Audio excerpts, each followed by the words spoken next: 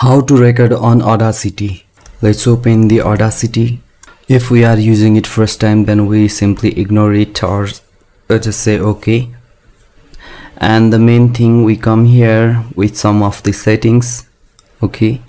The settings we can simply choose the recording device and this uh, the channel recording channel either it's on mono or stereo and let's go for this setting now.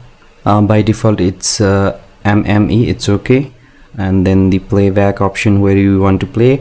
I'm using the Scarlett uh, headset now so it shows on here. However the main thing we need to select is this rec recording device.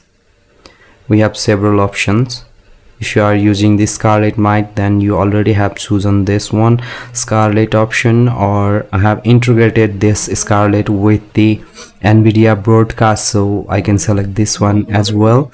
And the channel channel is stereo and the rest of the bit as accordingly you can select and click on this OK option.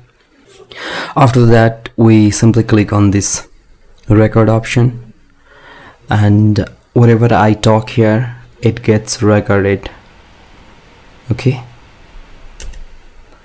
So if you can hear this one let me play it. And whatever I talk here it gets recorded okay?